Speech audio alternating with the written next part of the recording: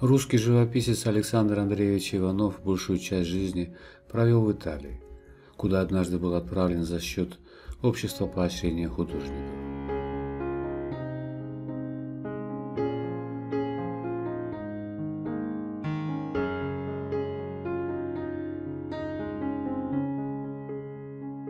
В качестве ответной благодарности и отчетной работы он прислал из Рима свое полотно «Явление Христа Марии Магдалине после воскресения».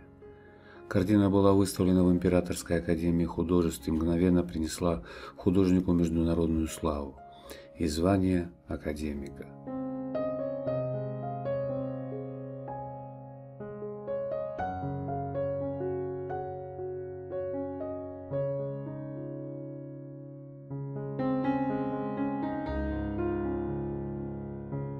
Согласно евангельскому мифу, Мария Магдалина – раскаявшаяся блудница, ставшая последовательницей Иисуса Христа.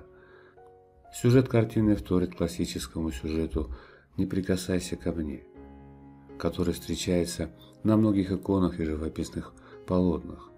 Он иллюстрирует первое явление Мессии после воскресения, когда Иисус говорит Магдалине «Не прикасайся ко мне, ибо я еще не восшел к Отцу моему, а иди к братьям моим и скажи им, восхожу к Отцу моему и Отцу вашему, и к Богу моему и Богу вашему.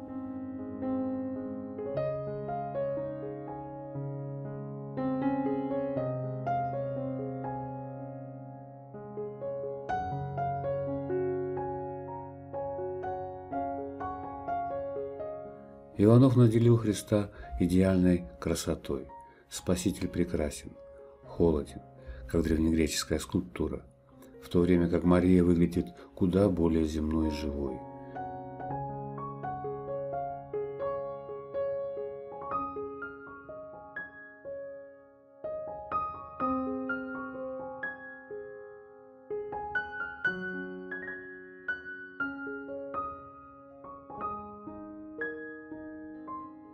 Ее золотые волосы мягко ложатся на плечи, на лице страдания и горечь утраты сочетаются с невообразимой радостью встречи.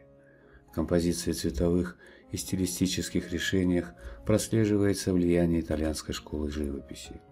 Это неудивительно, ведь работая над картиной Александр Андреевич специально совершил поездку на север Италии, чтобы изучить характерные особенности местных художественных школ.